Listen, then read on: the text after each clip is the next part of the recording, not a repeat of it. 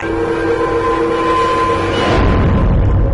नमस्कार prime news 24 में आपका स्वागत है। मैं हूँ अग्रिमा जादौन और खबर अमेठी से है। शुक्ल बाज़ार पीआरवी 112 का सराहनीय कार्य, घायल महिला और बच्चे को क्षेत्रीय निजी अस्पताल में करवाया भर्ती। आपको बताते चले कि मामला जनपद अमेठी के थाना बाज़ार शुक्ल के अंतर्गत, आने वाले गाँव पारा मोड़, शुक्ल बाज़ार रानीगंज रोड पर सुबेहा बाराबंकी निवासी रघुनाथ, पत्नी और बच्चे सहित रिश्तेदार के यहाँ मोटरसाइकिल से जाते समय पूर्वांचल एक्सप्रेस वे कार्य निर्माण में ट्रैक्टर द्वारा सड़क पर पानी पानी छिड़कने के दौरान मोटरसाइकिल सवार अनियंत्रित होकर गिर गया, जिसमें जिसमें पत्नी और बच्चे चोटिल हो गए। क्षेत्र में गश्त कर रही शुक्ल बाज़ार पीआरवी 112 2789 पर तैनात head constable Ram Gopal Yadav, constable Pradeep Kumar, महिला कांस्टेबल मनोरमा देवी, चालक राजकुमार चतुर्वेदी ने तत्काल एक निजी अस्पताल में भर्ती कराया, जिसका उपचार के पश्चात चोटिल स्वतः अपने गंतव्य स्थान को गया।